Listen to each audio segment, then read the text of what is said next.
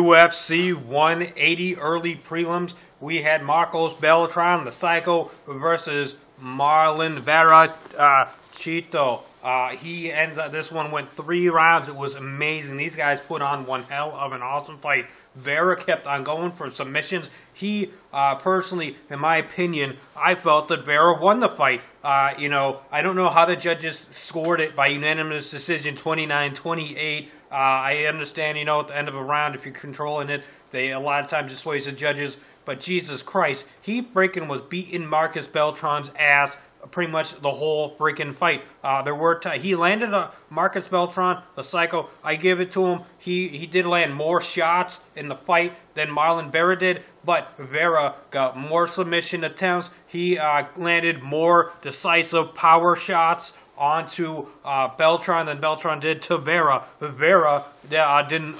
When he finished, when the fight was over, he was standing up, walking around. Beltran went and sat down and laid over in the octagon corner. I mean, come on, what the fuck? Uh, you know, so sorry about dropping an F-bomb, but what the Fraggle Rocks. So anyways, uh, I'm looking forward to the next time uh, Marlon Vera gets a shot in the UFC. I'm looking forward to it. I hope he gets another fight in. Uh, you know, I'm looking forward to it. I'm going to keep cheering for this guy. Uh, congratulations go into uh, Mexico for uh, the first UFC fight in Mexico, going to a Mexican fighter. Congratulations. That is awesome. I'm glad that happened, uh, you know, in that aspect of it, that the history making got another history uh, point with it instead of going to somebody else. So I kind of would have rather this fight go on second. But anyways, there you have it. Subscribe to Colonel Jack's Destination. Leave me a comment down below. Like the video, but I'd rather, you know, like the video. If you want to dislike it for some reason, go ahead and dislike the video. Be my guest. But I'd rather you be my guest and like the video and subscribe to Colonel Jack's Destination UFC 180 off to an awesome start.